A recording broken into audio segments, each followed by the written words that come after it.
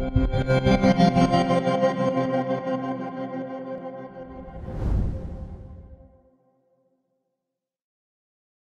tiens tout d'abord à remercier l'association AMCAR pour l'invitation à ce congrès et euh, le laboratoire Jensen Actelion d'avoir organisé encore une session sur l'hypertension artérielle pulmonaire et c'est avec un réel plaisir que je retrouve mes collègues cardiologues. Je suis pneumologue, donc euh, j'aurai le plaisir de vous traiter les combinaisons thérapeutiques initiales dans le traitement de l'hypertension artérielle pulmonaire, de l'intérêt aux perspectives.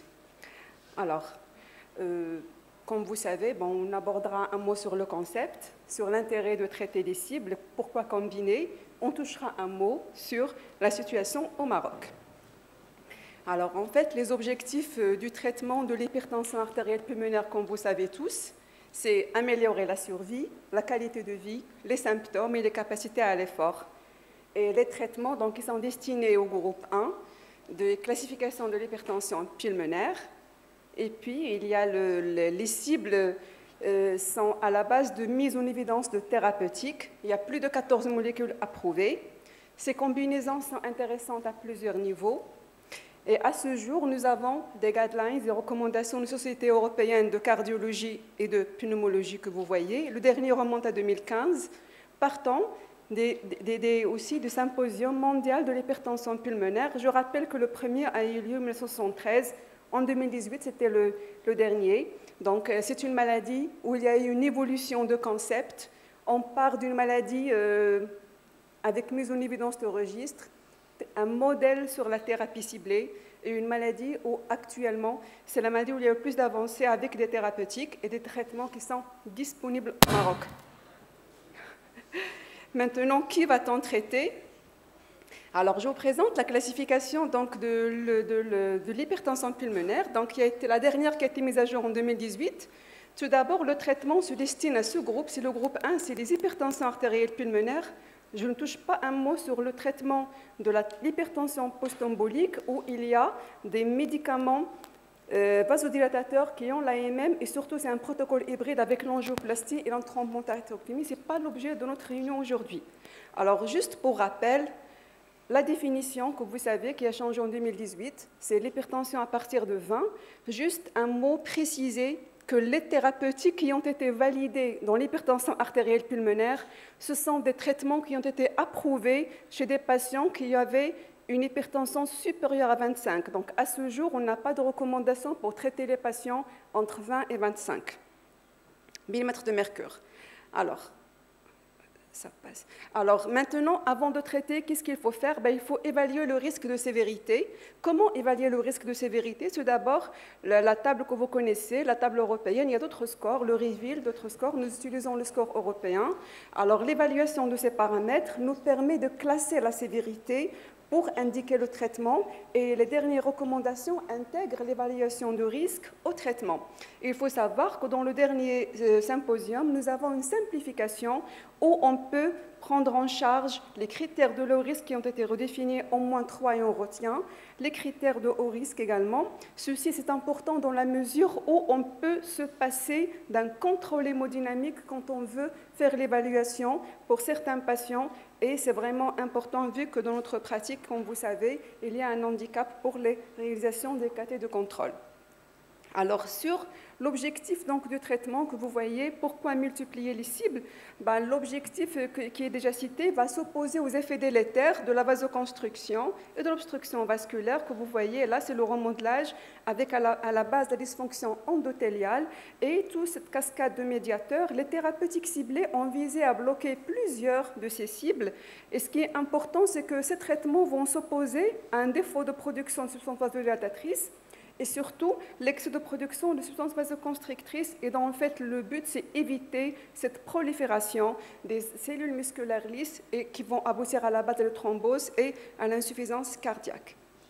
Alors, il faut savoir que dans l'approche thérapeutique, il y a eu toute une évolution. Euh, dans les années 90, ben, je vous épargne l'historique, le premier après donc, le registre 1973, les années 70, donc euh, jusqu'à 1990, il n'y avait pas de traitement, il n'y avait pas de protocole ni société, donc pas grand espoir pour les patients. Les années 90, le premier à avoir été approuvé, bon, le poprosténol a été approuvé en 1990 pour la FDA. C'est très important, surtout par la voie IV. L'année 2000, il y a eu une décennie où il y a eu une vague d'essais cliniques. Nous allons voir par la suite où plusieurs molécules ont été testées et surtout la mise en évidence de plusieurs médicaments. Et le dernier, comme vous voyez là, on a eu les derniers des cas de redéfinition, de, définition et d'intégration de scores de sévérité. Et le, champ a changé de quelques experts qui se réunissaient avec des, des décisions très limitées sur une maladie où il n'y avait pas d'espoir à des recommandations et surtout à un espoir avec des traitements combinés. Alors, les combinaisons, quand on parle de, combinaisons thérapeutiques, alors ces combinaisons, comme vous voyez, il y a les combinaisons initiales, c'est quand on associe des médicaments au début, d'emblée. On a la combinaison séquentielle, qu'en absence de réponse ou d'échec, un médicament est introduit après un autre. L'objectif, comme, comme précédemment cité, en plus, et, sans, sans qu'il y ait de majoration d'effets secondaires, c'est surtout cibler plusieurs voies délétères. Alors, Normalement, quelles sont ces voies délétères qui ont été décrites? La voie d'endothéline, euh, la voie du héno, la voie de la prostacycline. Et à chaque voie, il y a eu des médicaments que vous voyez qui ont été développés. Et en 2020-2021, l'étude Pulsar a démontré une dernière voie qui est décrite par les FDA comme un traitement qui va révolutionner encore l'hypertension pulmonaire. C'est le sotatercept qui va agir au niveau pour modifier le signal cellulaire pour le BPR2. Alors en fait, nous avons un panel de médicaments qui ont été approuvés. Il y a plus que 14 molécules approuvées par le FDA dans le traitement de l'hypertension artérielle pulmonaire. Quand on porte un regard sur les essais cliniques qui ont donné qui ont été approuvés, ben vous voyez que d'abord, dans le premier temps, les, les éléments d'évaluation, c'est surtout un test marche comme premier élément de jugement. Dans les derniers essais, on a associé la morbimortalité comme critères de jugement, surtout si l'étude euh, Séraphine, Griffon et Ambition. Alors, sur l'historique de ces essais cliniques, vous voyez qu'ils ont inclus près de 10 000 patients et que le panel, le panel évolue. Là, on avait des essais en monothérapie versus placebo. Il y a eu des essais en monothérapie en séquentiel, en combinaison séquentielle ou versus placebo. Puis, on a eu, il y a des essais où des combinaisons se sont faites versus monothérapie. Alors, on va commencer par l'essai Séraphine qui a, qui été à la base de l'AMM de, de, de, dans l'hypertension artérielle pulmonaire. Auprès de 742 patients, la dose de 2 mg s'est montrée nettement supérieure dans le traitement versus placebo. Dans l'étude Griffon pour le Selexipag, alors l'étude Griffon, c'est plus de 1156 patients et ce sont des essais en phase 3 contrôlés. Ben, il y a une nette supériorité de Silexipag. Dans ce groupe, les patients, certains avaient déjà reçu un traitement. Je rappelle que ces deux molécules sont présentes au Maroc. C'est les premières thérapies ciblées, à part les inhibiteurs de la phosphodiesterase, le macitentan est disponible au Maroc, également le Selexipag. Maintenant, si on veut parler de la combinaison thérapeutique, l'étude qui a été vraiment menée comme combinaison versus monothérapie, c'est l'étude Ambition, qui a étudié l'association embrisantant tadalafil euh, versus embrisantant seul ou tadalafil seul auprès d'un échantillon de plus de 500 patients. Alors la combinaison, il s'est montré nettement supérieur par rapport à la monothérapie. Regardez les critères de jugement principal, c'est le décès, l'hospitalisation, ou alors la progression clinique ou un événement de réponse insuffisante. Alors la combinaison, normalement les événements sont de la combinaison initiale sont faibles et il y a une nette supériorité de la bithérapie. Quels sont les patients qui ont présenté les événements? Bon, c'est les patients qui étaient d'abord du groupe de monothérapie, les patients sévères à la base avec un test de marche bas et un taux de BNP élevé. Maintenant, la seconde étude, donc c'est l'étude Optima. C'est une étude euh, qui a été, euh, qui a été donc euh, réalisée, donc l'étude de L'étude Ambition, c'était publiée en 2015. L'étude Optima a été publiée en 2020. Alors, elle a associé le macitentan et le tadalafil en combinaison thérapie, donc en première ligne. Alors, il est clair que l'association de deux médicaments avec deux cibles différentes, elle a amélioré les résistances, les PVR, et elle a amélioré le test de marche. Et cet élément, c'est important quand on introduit l'association dans l'immédiat. Alors, quand on porte un regard, est-ce que la combinaison thérapeutique devrait être un standard? Vous voyez tous les, principaux registres internationaux, le registre français, le registre suédois, d'autres registres, le registre allemand, vous voyez qu'on n'arrive pas à avoir un contrôle optimal des patients traités. Ça veut dire que même si on met les thérapeutiques adaptées, dans des pays développés, ben, le contrôle de la maladie n'est pas à 100%. Alors, il y a des attitudes, ne pas considérer qu'un patient qui est en classe 2 comme un malade léger, il n'y a pas cette notion, la maladie va évoluer. on peut perdre du temps à attendre qu'un patient qui est stable ne s'améliore pas avant d'augmenter l'escalade du traitement. Et avoir un contrôle optimal peut être difficile dans l'hypertension artérielle pulmonaire. Dans la question de l'auteur, est-ce que la combinaison devrait être un standard? Ben, Il présente oui. Alors, normalement, dans le rationnel des guidelines, la, combinaison avec la voie IV, ben, il a permis de métamorphoser les malades graves. Là, c'est une série française très importante sur une triple thérapie avec la voie intraveineuse. Voyez les patients qui étaient en classe 4, ben, après le traitement, ben, ils remontent tous à la classe 1-2. Regardez le test de marche, les résistances qui baissent. Ils étaient à pratiquement 17, là ils passent à 7 plus ou moins 4. Donc cette trithérapie avec la voie IV pour les malades à risque élevé, elle, elle a métamorphosé les malades.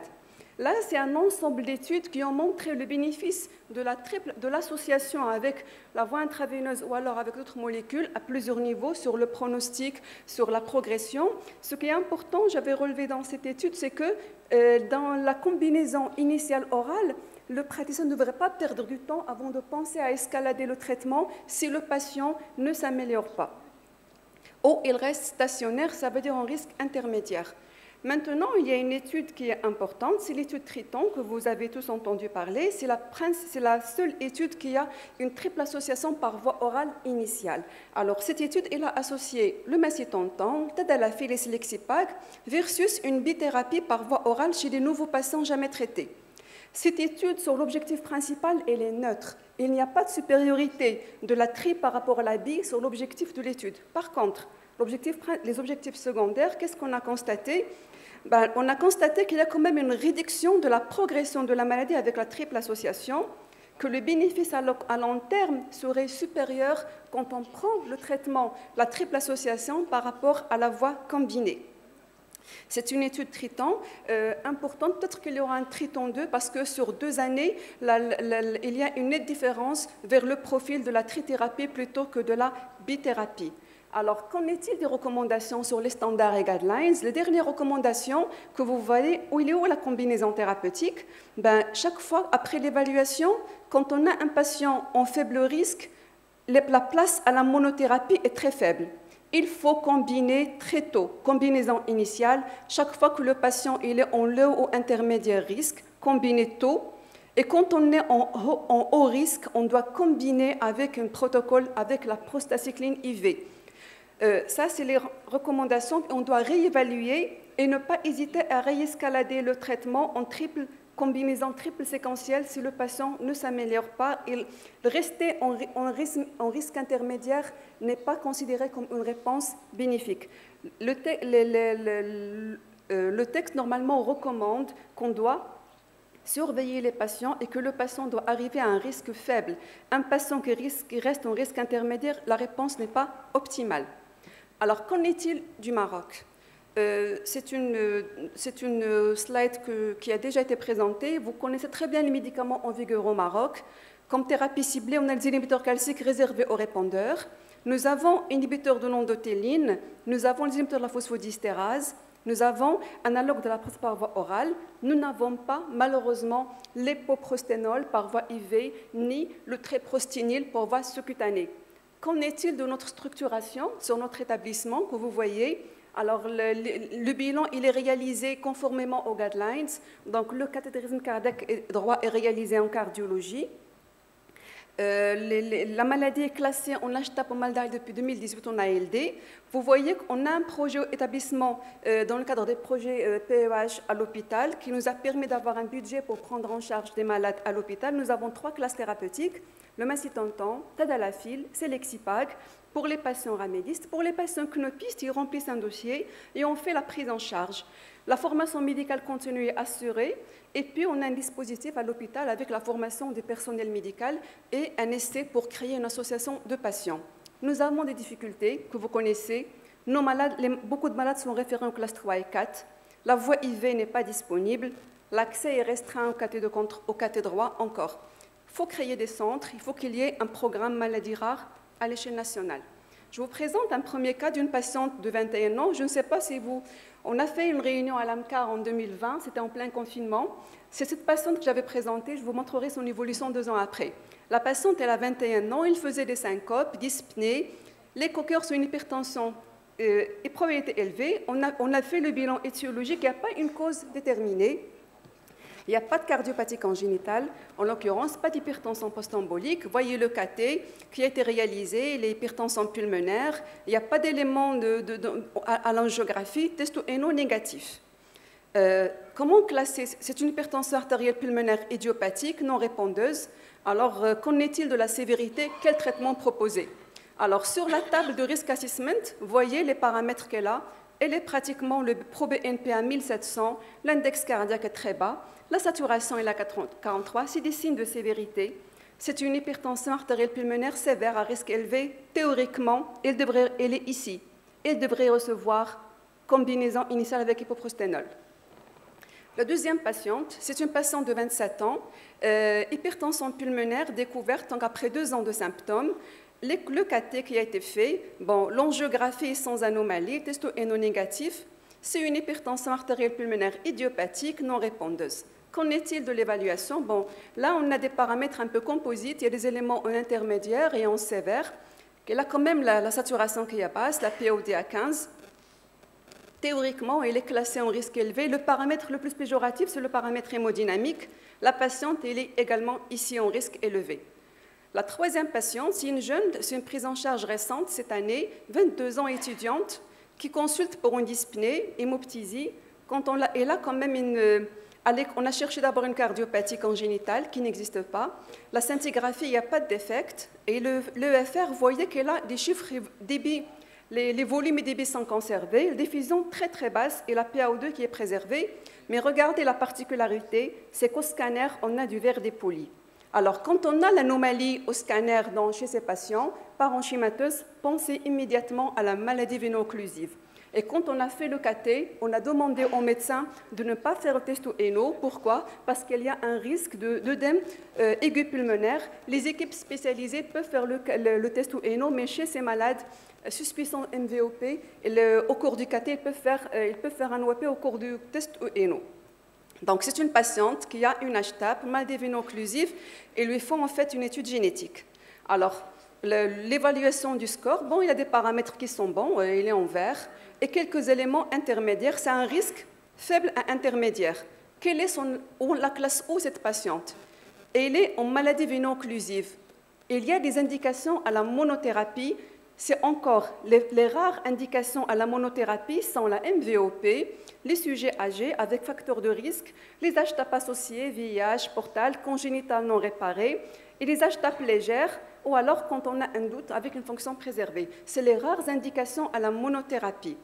Et c'est une patiente qui est classée donc faible intermédiaire. Si on fait le récap de ces patients que j'ai montrés, ces trois patientes, ils ont, ils ont, reçu le traitement. Donc euh, la première, c'est une HTAP idiopathique avec risque élevé, la deuxième avec risque élevé.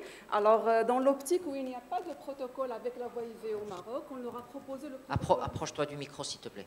on leur a proposé le protocole disponible dans notre établissement, c'est d'abord une combinaison en bithérapie initiale qui a associé un inhibiteur de l'endothéline et un inhibiteur de la phosphodiesterase. Par contre, pour la troisième patiente, nous savons tous que pour la maladie véno-occlusive, nous mettons une monothérapie et la patiente, elle a été hospitalisée avant d'introduire le traitement. Pourquoi? Ces patients, ils peuvent faire un OAP au cours du KT, comme ils peuvent faire un OAP quand on, quand instaure les thérapeutiques vasodilatatrices. Donc, on l'a hospitalisé, il a reçu une monothérapie. Alors, euh, il, y a des, il y a des... Comment mener la combinaison thérapeutique? Alors, euh, les posologies, elles sont définies, mais la modalité, il vaut mieux ne pas introduire le tout le premier jour pour éviter les effets secondaires. Tout d'abord, le tadalafil, il est introduit à 20, puis quelques jours, puis 40. Puis il y a des risques pour, réduire le risque d'effets secondaires, les céphalées, les hypotensions. Rapidement, dans la combinaison, il y a les, équipes, les équipes donc en Italie et en France, ils introduisent donc des médicaments, puis après le, le traitement, il est atteint quelques jours rapidement. Et, c'est surtout pour une meilleure tolérance. Par contre, pour la triple thérapie dans le traitement stadie, alors dans la triple thérapie, il y a le protocole. On introduit l'opsumide, le tadalafil à 20, puis après une semaine, puis le selexipag, il est introduit sur une titration. La titration de selexipag, c'est quoi? C'est que vous doublez les doses toutes les semaines, 200, 400, 600, 800. L'objectif, c'est d'arriver à 1600 x 2. Et l'objectif, c'est qu'on peut aussi atteindre la dose que le patient tolère un patient peut tolérer 1400 et on va garder le 1400, mais on vise normalement le 1600. Chez nous, nous avons à l'hôpital deux patientes qui ont eu, euh, la triple association. On a réussi à atteindre les 1600. On les, on les convoquait en hôpital du jour tous les 15 jours. On n'a pas dû les hospitaliser et on leur donnait la dotation. Là, c'est le récap de nos patientes. Comme vous voyez, voilà ce que recommande voilà le guidelines de l'hypertension artérielle pulmonaire pour la, pour la combinaison thérapeutique et voilà la situation avec ces médicaments. Notre première patiente, elle a reçu la double combinaison la, deuxième patiente a reçu une triple combinaison avec, euh, le macitontan, pardon, tadalafil et le selexipag. La troisième, la MVOP, elle a reçu une monothérapie. Alors, à noter que le traitement vasodilatateur spécifique ne se conçoit pas sans traitement des mesures générales, sans traitement adjuvant et surtout éviter les médicaments classiquement déconseillés en cas d'HTAP, à savoir les bêta-bloquants, certains, les IEC. Vous avez un panel de mesures, les efforts importants, la grossesse. En cas d'anesthésie, tout à l'heure il y avait une histoire de réanimation, on, privilégie l'arraché anesthésie chez ces patients, ne pas oublier les vaccinations. Donc les mesures générales sont importantes au traitement adjuvant. Ça peut être un facteur d'échec du traitement. On doit d'abord euh, euh, bien mettre en marche les mesures générales traitement adjuvant. Alors, concernant l'évolution de ces patientes, ces trois patientes que vous voyez, alors si on peut suivre, les guidelines recommandent de suivre ces malades sur les critères après l'instauration du traitement. La patiente 1, on a un recul de 29 mois. Elle était initialement, risque élevé. À 12 mois, on a refait le KT et elle est passée tout en vert. 4 risques, à 4 low risque. À 29 mois, on n'a pas refait le KT, on a suivi par les éléments, vous avez vu, les éléments modifiés de 2018, c'est uniquement les critères de low risque, on a eu 3. Pour la deuxième patiente, également à risque élevé, on a mis euh, reçu, refait le KT, vous voyez la POD qui passe à 6, euh, l'index cardiaque qui augmente, la saturation qui augmente, et on a 45 mois de recul. Pratiquement, on a 4 ans, on a 4 ans de recul chez cette patiente qui a la triple thérapie et elle est bien. Maintenant, le, bénéfice, euh, le bénéfice donc de, ce traitement, il est bien démontré sur la qualité de vie, sur le facteur de low risque. La troisième patiente, c'est une patiente nouvellement admise, elle est en cours, elle a commencé, le traitement au mois de février, janvier-février, et le traitement est bien toléré. Euh, alors, après le traitement, dans les guidelines, la combinaison, après l'évaluation, ne pas rater le moment de l'escalade thérapeutique. Il faut aussi noter qu'il n'y a, pas de, désescalade thérapeutique. Un patient chez qui on obtient l'objectif thérapeutique, c'est le faible risque, on maintient le traitement. Chez ces malades, le traitement est maintenu.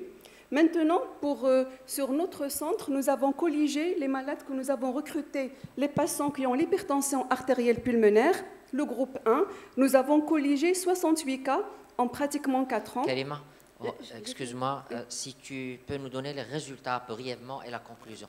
Merci beaucoup. C'est ça, j'ai terminé. Nos, malades qui ont la combinaison, 70% ont reçu une combinaison, euh, euh, les combinaisons initiales pour les nouveaux malades à l'hôpital. Sinon, nous avons reçu des malades qui ont des combinaisons qui ont des combinaisons en séquentiel. Ils sont sous inhibiteurs de PDE, on les a poursuivis. Alors, je vais juste noter que c'est bien d'avoir un centre de référence. Ça, c'est l'importance de la thérapie. Je signale que notre hôpital a changé pour les collègues de Rabat. Ça, c'est l'équipe qui fait l'équipe vraiment complète, la majeure, l'exploration, le tout, la secrétaire.